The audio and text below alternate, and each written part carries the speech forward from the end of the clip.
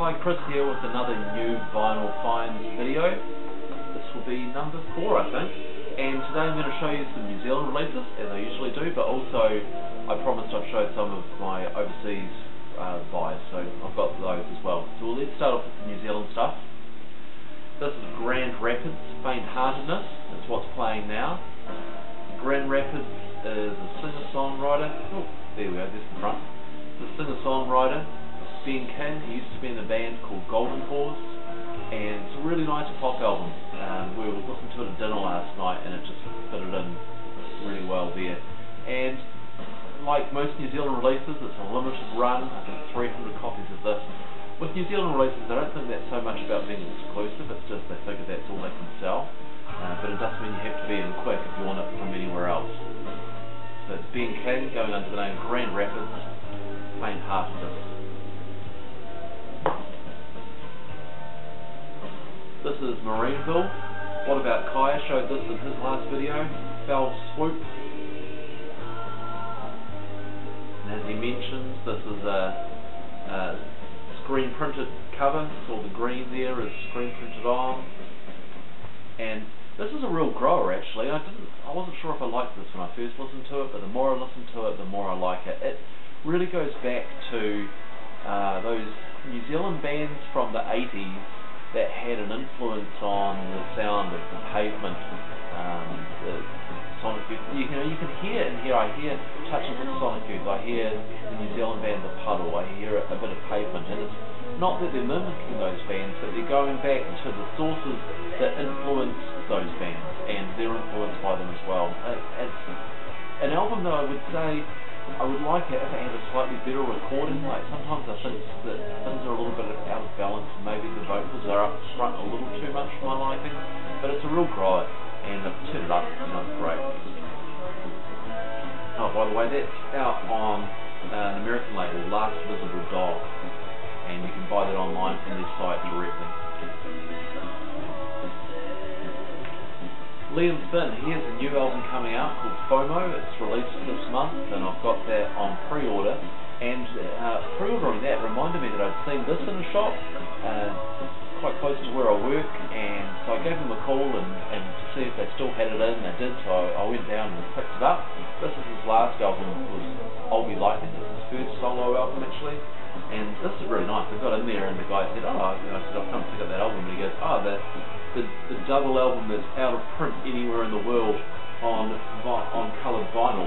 I don't think he quite realised what he'd had in the shop, that it was worth as much as maybe it was. So, one on blue. It's got a whole lot of extra tracks that weren't on the CD. And they're here on the on the white disc. So I was pretty pleased with that, picked that up, and it's a great album, I'll be like, really, really good. So I'm looking forward to his second album. Liam Finn, of course, the son of Neil Finn of Crowded House, and uh, great talent in his own right. This is Master by the Coolies. I couldn't remember whether it's Master or Masters. It's Master. The Coolies have been around for a long time. They're they were a three-piece band uh, from the 90s, three-piece all-girl band, kind of playing fairly bratish, kind of punky rock. Um, and this, they put out an album a few years ago, which was only on CD. This is their new album, and no one really expected anything to come from them. Here, you've got two of the original members joined by Stefan Neville on drums. He's a bit of a genius. He plays some pumice and a number of other things, and uh, fairly lo-fi, and again, fairly, fairly bratty and kind of you know noisy and fuzzy and yeah, great fun, really good. It comes out on an Australian record called Chapter Music. And I also picked up this, Julian Dyne, Pins and Digits. There was a shop in Wellington that was you know, closing down, they were having a sale. I had my eye on it for a while and so the price was right and finally picked it up. This is a bit different from most of the other stuff I've shown. It's not guitar based, it's more more electronic, although it's not dancey, it's pretty gentle, it's uh, quite nice evening music, and it's pretty well crafted and structured. The guy, uh, the guy's name, I can't remember, um, Julian Dyne, yeah, the guy there, Julian Dyne, of course, I thought he was going under another name from that, but yeah, Pins and Digits. Alright, now onto my overseas uh, vinyl. I'm going through this pretty quick. I don't know how much battery I've got left on the camera. So, a few things I've bought. I've only bought New Zealand material. I'm trying to keep the spending down. Uh, New Zealand music's my passion. But there are some things that come out that you just got to get, right? So, I got this. J Mascis. Several shades of why. And this is J Mascis acoustic. Mainly acoustic. There's a bit of electric on here as well. Great package and really nice. I don't know if this will be the starting point I'd recommend for J Mascis because you know he's got that trademark drawl which is on here, but also that electric guitar sound. You probably want to start with Dinosaur Jr. Purple vinyl. But for those aficionados of, of Dinosaur Jr. or maybe some J Mascis other work and Spot the Fog, um, you know, absolutely great. So really enjoying that. I also picked up the Decemberist new album, The King is Dead. One of the attractions of this was it has backing vocals from Gillian Welch, who I, I really, really like. Um, and this is kind of a country folk album, but I really like the voice of the singer from the Decemberists and songs, you know, really enjoying that as well. I also picked up a couple of kind of classics, or, you know, my ears anyway, things that I really liked that I didn't have on vinyl this one I only had on, I think I only had MP3s, and it's a record I just keep on coming back to and back to. I often listen to it on the way home on a Friday when I've just had enough of the week and I just need something to kind of clean it all away. Or other, you know, if I'm going out and I want something to get ready, I often come back to this album. So I tracked it down on vinyl, really with it. Built to Spill, Keep It Like a Secret. Uh, the original album spread over two discs, and this is a reissue. I think it came out in 2007.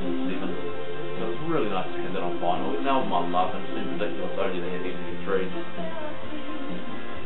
Similarly, another album I love, which I also picked up, um, Neutral Milk Hotel, and never remember the name of it. I'm not going to find it on there.